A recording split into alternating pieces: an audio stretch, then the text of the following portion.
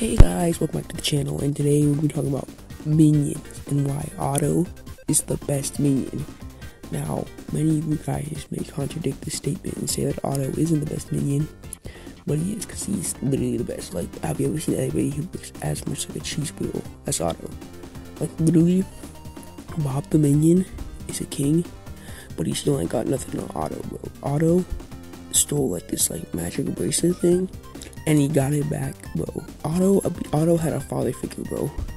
Bob ain't got no Otto. He ain't got no father figure. Cause Otto got that weird black biker with him. Bob ain't got that. All Bob got is two other freaking stupid minions nobody cares about. Like I ain't seen a single person who say that Stu would be their favorite minion because they're lying.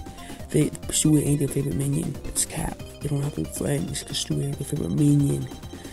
Now, you may all, maybe you are probably are going to go to spam the comments with King Bob propaganda, but that's okay because you guys are stupid already because you guys are pledging allegiance to a minion who's not able to reclaim his throne after he get kicked out. What did he do? Did become king again? What Otto did after Otto has to get his amulet, bro? He got the amulet back. Otto gets things back, bro. Otto don't Otto don't let anybody down, bro. Otto follows mini boss on the King Bob. King Bob, King King. Oh, nothing happened after that. Um, King Bob's just useless after that. But he he can't even learn karate. He literally turned into like some other stupid animal. Literally, oh god.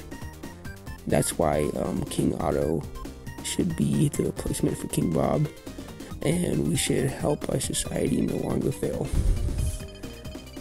Bye bye.